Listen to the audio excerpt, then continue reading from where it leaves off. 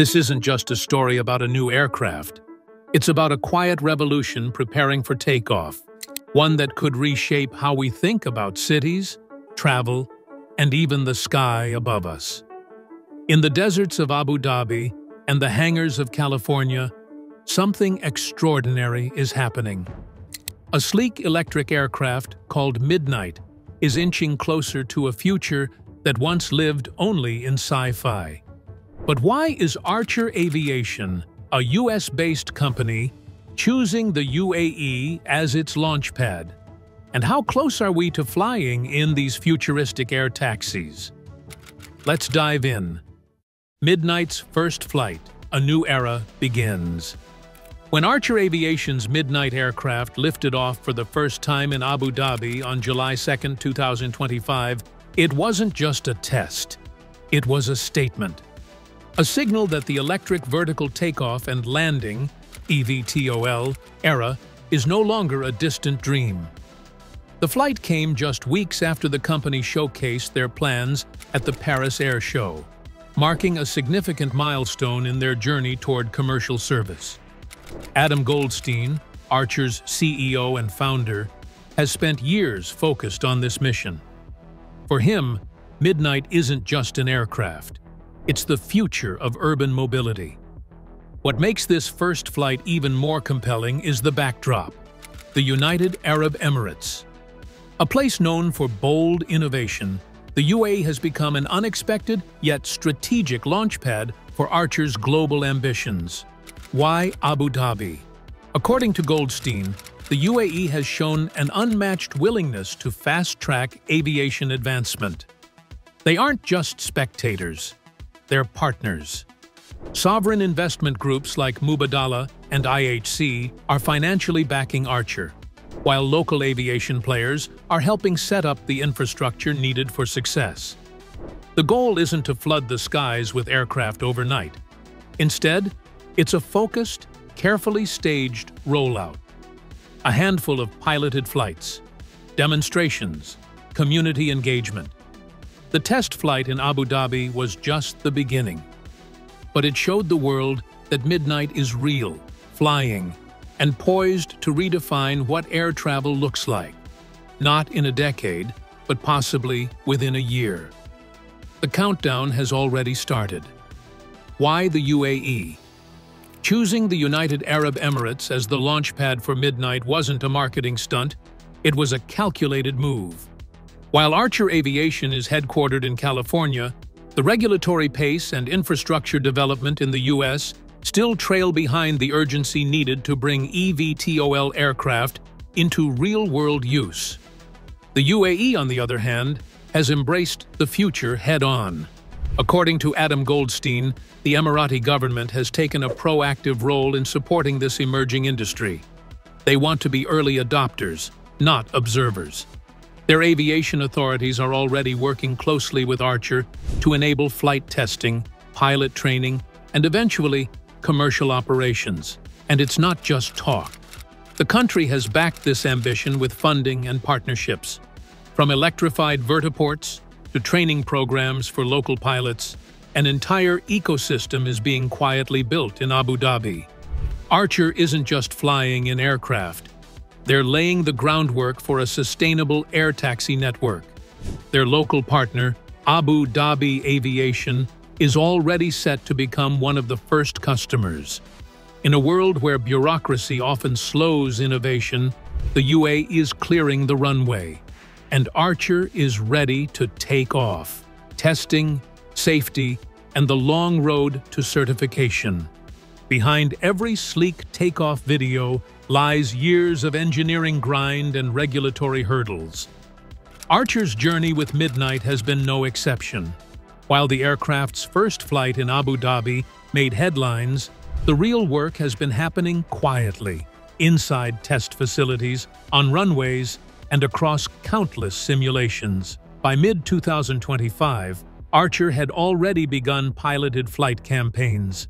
That means trained test pilots are now flying Midnight, pushing its limits in real-world conditions. These aren't just performance trials, they're safety demonstrations. Before anyone steps into an air taxi as a paying passenger, every flight system needs to meet the most rigorous standards. In the U.S., Archer is working closely with the Federal Aviation Administration, FAA, to gain certification. That process isn't fast. It involves building trust, proving reliability, and showing that the aircraft can respond safely even in failure scenarios. At the same time, the company has introduced conventional takeoff and landing capabilities into its aircraft design, a backup system that offers added layers of safety and efficiency. This is about more than flying. It's about convincing regulators, governments, and the public that these aircraft belong in the sky. And Archer is determined to earn that trust. Building the ecosystem, not just an aircraft. Archer's vision isn't limited to building a futuristic aircraft. What they're constructing is an entire ecosystem, one that can support urban air mobility from the ground up. Because flying Midnight is only part of the equation. Making it useful, safe, and scalable requires a network that touches everything from infrastructure to human resources. In Abu Dhabi, that system is already taking shape. Vertiports are being electrified and modernized, partnerships are in place for pilot training, aircraft maintenance, and flight operations. Local aviation giant Abu Dhabi Aviation isn't just a customer, it's part of the operational backbone. They're preparing to integrate Midnight into their fleet and help demonstrate how eVTOLs can function in a real-world commercial setting. This approach signals Archer's deeper strategy, prove the model in a controlled, cooperative environment before scaling globally. By creating a full-service blueprint in the UAE where government, investors, and operators are aligned, they can showcase what a functioning eVTOL ecosystem looks like. It's not just about lifting off, it's about where you land, how you charge, who flies the aircraft, and who maintains it. Archer is solving the entire puzzle, one piece at a time. Now first, like always be sure to hit the like button down below. It helps us out tremendously with the reach of this video. Thank you. Scaling up, manufacturing, and the future fleet. While the UAE serves as Archer's launchpad, the engine behind its global vision is being built in Georgia, USA. In 2024, Archer opened its high-capacity manufacturing facility there, a plant capable of producing up to 650 Midnight aircraft annually in its initial phase. That's not just a workshop. It's a signal that Archer is serious about scale. Right now, several aircraft are already coming off the line. The goal is to build a robust fleet, not only for testing, but for future commercial deployment. These aren't just prototypes. They're production-ready models, designed to meet strict certification requirements and support regular operations. The company's strategy is clear. Develop and refine in one region, then replicate that success globally. Once proven in Abu Dhabi, similar networks could emerge in major cities worldwide New York, Los Angeles, London, or Singapore. The groundwork laid now could define how entire urban populations move in the next decade. But that future depends on readiness. And Archer is working from every angle engineering, regulation, infrastructure, and now mass production to ensure they're not just first to market, but first to scale sustainably. The aircraft are coming. The skies are next. The bigger picture. Why this matters. It's easy to look at Midnight and see a high-tech toy for the wealthy or a futuristic gimmick. But the implications of what Archer is building go far deeper. This isn't just about speed or convenience. It's about reimagining mobility in cities that are choked with traffic and running out of space. eVTOLs like Midnight could drastically reduce commute times, lower urban emissions, and change how people access work, healthcare, and opportunity. They're electric, quieter than helicopters, and can take off and land in tight spaces. That opens up an entirely new layer of transportation, above the roads but below the clouds. For Adam Goldstein, this isn't a vanity project. It's a response to a global problem. Cities are growing faster than their infrastructure can handle, and traditional aviation has barely evolved in decades. Bringing safe, clean, and accessible air travel to the public is an urgent need, not just a technological challenge. The world isn't waiting. Governments are watching. Investors are betting. And communities are hoping.